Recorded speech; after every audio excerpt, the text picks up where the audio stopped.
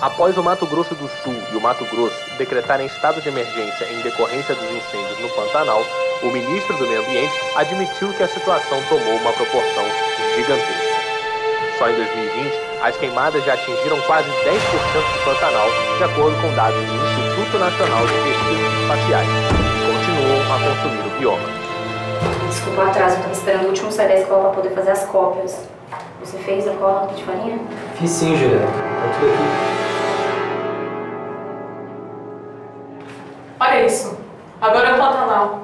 Eles vão pegar pra destruir tudo que não foi pra vender. Foram os piores Tony, em 15 anos. Não dá pra agir por agir. É até A gente precisa pensar. a seca entre junho e setembro Porra, mas não fode, tem muito cuzão. Tá na hora de explodir umas coisas, mostrar pra eles que eles não mandam tanto quanto acham que mandam. Caralho, você tá louca? O que você vai fazer, meu? O que for preciso. Consigo te entender, Tony.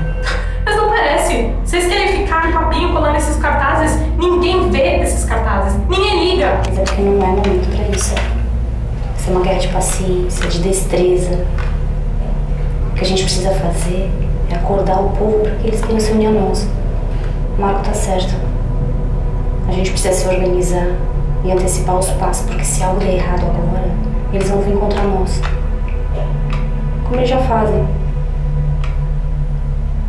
Paciência. Tá com itinerário aí, Marco?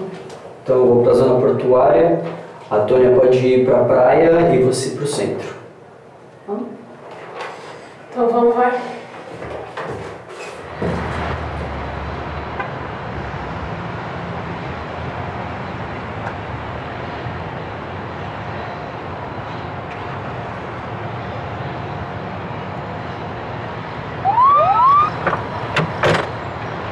Solta!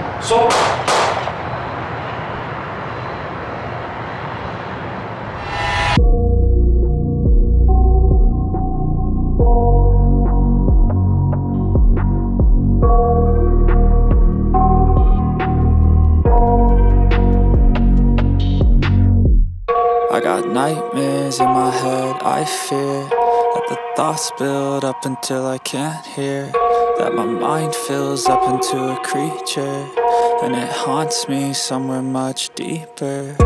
Anxiety, filling up every space, no privacy. And silently, it could build and build until you finally see. Whoa, it's taking over, damn no closure, moving closer.